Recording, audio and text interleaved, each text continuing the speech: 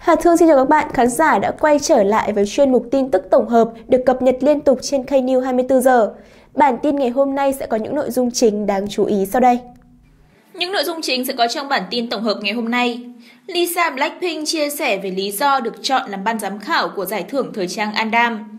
BTS đem đến Grammy 2021 tiết mục đỉnh cao, dựng thảm đỏ như thật rồi lên nóc nhà khoe vũ đạo mãn nhãn.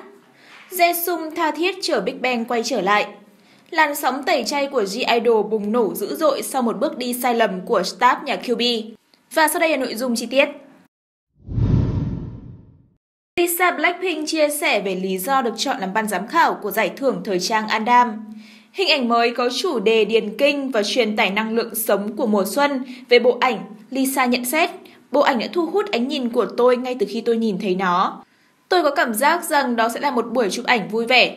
Trong cuộc phỏng vấn sau buổi chụp hình này, Lisa đã nói về buổi hòa nhạc trực tuyến đầu tiên của Blackpink The Show. Cô nàng chia sẻ, có một sức nóng khi tôi nhìn thấy các fan cầm lightstick cổ vũ trực tiếp, nhưng lần này thì không thể.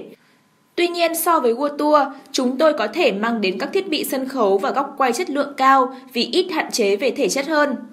Lisa cũng chia sẻ, điều quan trọng nhất là bản thân cảm thấy hạnh phúc, đó là lý do vì sao tôi cố gắng thể hiện bản thân mình mà không che giấu nó. Gia đình và bạn bè tôi đã nói rằng từ khi còn nhỏ, tôi đã rất tươi sáng và vui vẻ. Cuối cùng, Lisa đã xúc động khi được chọn làm ban giám khảo của giải thưởng thời trang Andam năm 2021. Cô nàng chia sẻ, Tôi nghĩ lý do là vì tôi có thể được xem như một người của thế hệ mới trong làng thời trang thế giới. Tôi thật sự mong chờ điều đó. BTS đem đến Grammy 2021 tiết mục đỉnh cao, dựng thảm đỏ như thật rồi lên nóc nhà khoe vũ đạo mãn nhãn. Sáng ngày 15 tháng 3, lễ trao giải Grammy lần thứ 63 đã chính thức diễn ra. BTS không những nhận đề cử màn trình diễn pop xuất sắc nhất của bộ đôi nhóm nhạc mà còn biểu diễn ở chương trình. Do đó sự xuất hiện của họ càng được quan tâm đặc biệt. Đáng tiếc là may mắn không mỉm cười với BTS. Dù BTS không thắng giải nhưng không vì thế mà sân khấu của bảy chàng trai thiếu đi sự cổ vũ nồng nhiệt của fan và khán giả. Tiết mục của BTS diễn ra ở cuối buổi lễ. Họ đã biểu diễn Dynamite, siêu hit của nhóm gặt hái top 1 đầu tiên trên bảng xếp hạng Billboard Hot 100 danh giá. Đáng tiếc đây là tiết mục ghi hình trước. Boy group nhà BTS không thể trực tiếp đến Mỹ góp mặt tại lễ trao giải Grammy vì tình hình dịch bệnh. Màn trình diễn của BTS mở ra với bối cảnh được dựng y hệt địa điểm tổ chức lễ trao giải. Có từ thảm đỏ cho đến những bức tường được gắn kèn đồng. Cả nhóm khoác lên mình những bộ suit sặc sỡ, khoe giọng hát live xuất sắc và những bước nhảy điêu luyện. Đây còn là lần đầu tiên sau nhiều tháng BTS thể hiện vũ đạo Dynamite. Nhiều sân khấu trước đó nhóm chỉ ngồi một chỗ vì Suga chưa hoàn toàn hồi phục sau cuộc phẫu thuật vai hồi cuối năm ngoái. Điểm nhấn của tiết mục là khi BTS biểu diễn phần cuối của bài hát, trên sân thượng của tòa cao ốc tọa lạc tại khu vực Yeouido khiến nhiều người xem choáng ngợp với khung cảnh rực rỡ của thành phố Seoul lúc đêm về. Địa điểm BTS ghi hình cho sân khấu Grammy đã được phát hiện ra cách đó vài ngày. Khi đó nhiều người đã khâm phục sự hy sinh của bảy chàng trai vì bất chấp nguy hiểm hát nhảy ở đỉnh của tòa tháp chọc trời. BTS từng biểu diễn tại Grammy 2020, tuy nhiên tiết mục năm nay đặc biệt hơn vì đây là lần đầu tiên nhóm có sân khấu riêng không xuất hiện với tư cách nghệ sĩ khách mời chung với bất kỳ ai. BTS còn là nghệ sĩ châu Á đầu tiên diễn tại lễ trao giải danh giá này. Trước và sau màn trình diễn của nhóm, hashtag thắp sáng BTS được ARMY đưa lên top 1 trending toàn cầu của Twitter với hơn 2,3 triệu lượt tweet để cổ vũ bảy chàng trai. Các fan đã hết lời khen ngợi sự tâm huyết, mức độ đầu tư mà BTS đưa vào tiết mục này. Jae tha thiết chờ Big Bang quay trở lại. Khi bốn thành viên Big Bang xuất ngũ, nhóm vẫn chưa có động thái comeback trong âm nhạc. Tuy nhiên không chỉ các VIP chờ đợi thần tượng trở lại, chính Jae Sung cũng đang mong ngóng điều này. Nam Idol đã phản hồi bình luận của fan thông qua kênh YouTube cá nhân.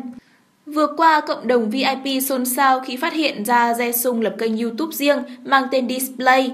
Tại đây, nam idol đăng tải nhiều video chơi trống, cover các bài hát đình đám của Big Bang. Không dừng lại ở đó, Jae còn lấy danh nghĩa Display, tự nhận là fan của Big Bang và thường xuyên trả lời người hâm mộ. Vào đúng dịp 3 năm phát hành Flower Rose, Jae đọc một bình luận từ VIP. Fan chia sẻ rằng dù họ là ký ức đồng hành với em nửa cuộc đời này, nhưng nếu không chỉ là ký ức thì thật tốt đúng không? Display ni mà, cho tới khi Big Bang comeback, chúng mình hãy cùng nhau chờ đợi nhé. Jae Sung sau đó làm fan ấm lòng vì câu hồi đáp Vâng, mình cũng đang chờ Big Bang trở lại, tha thiết hơn bất cứ ai. Hòa ra chính thành viên trong nhóm cũng mong đợi ông Hoàng K-pop tái xuất. Rất có thể Big Bang đang trong quá trình hoàn thiện sản phẩm âm nhạc mới, sẽ sớm tung MV hoành tráng hay là các dự án riêng cho fandom. Nhận được chia sẻ từ Jae liên quan đến Big Bang làm người hâm mộ cảm thấy vui mừng và phấn khích. Đây là lần hiếm hoi mà Jae lộ diện trên mạng xã hội vào trò chuyện với các VIP. Trước nay giọng ca vàng của Big Bang vẫn luôn kín tiếng, ở ẩn, khiến cả truyền thông cũng không ai nắm bắt được tin tức gì về nam idol. Kênh YouTube Display của Jae được lập âm thầm từ năm ngoái. Sau đó ban đầu tài khoản chỉ có khoảng 1.000 người đăng ký, sau đó nhanh chóng vượt lên con số 200.000 người. Tài khoản YouTube của nam idol đã đủ điều kiện để nhận nút bạc. song cho đến nay, anh chàng vẫn chưa biết cách đăng ký để nhận nút bạc và tự thừa nhận rằng mình trên núi mới xuống. Chỉ một câu nói liên quan đến Big Bang, Jae nhằm khẳng định rằng nhóm sẽ sớm hoạt động trở lại. Khi ông Hoàng K-pop tái xuất, thị trường âm nhạc Hàn Quốc chắc chắn sẽ bùng nổ. Trước đó vào ngày 9 tháng 3 vừa qua, G-Dragon xuất hiện trong video quảng bá cho sự kiện thời trang của Chanel. Nam thần tượng tiếp tục thể hiện phong cách độc đáo của riêng mình. Anh sử dụng rất nhiều phụ kiện đắt đỏ như dây chuyền, nhẫn, khiến fan choáng váng. Tuy nhiên, sự chú ý của VIP đều tập trung vào biểu tượng anh lựa chọn. Mặt dây chuyền của Z-Dragon là hình số 5, khuy cài áo của nam thần tượng cũng là số 5.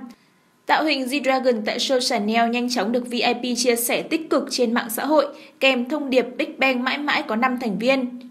Đối với các fan trung thành của Big Bang, đây là hành động khiến họ cảm thấy ấm lòng, thêm tin tưởng vào màn comeback của nhóm sẽ mang tới trong tương lai.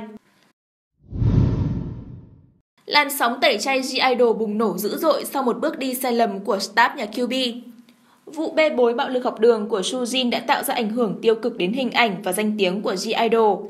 Cảm thấy thương xót cho công sức của năm thành viên còn lại, người hâm mộ và cư dân mạng Hàn Quốc đã nhiều lần kêu gọi Sujin nhanh chóng rời đi để bảo vệ cả nhóm.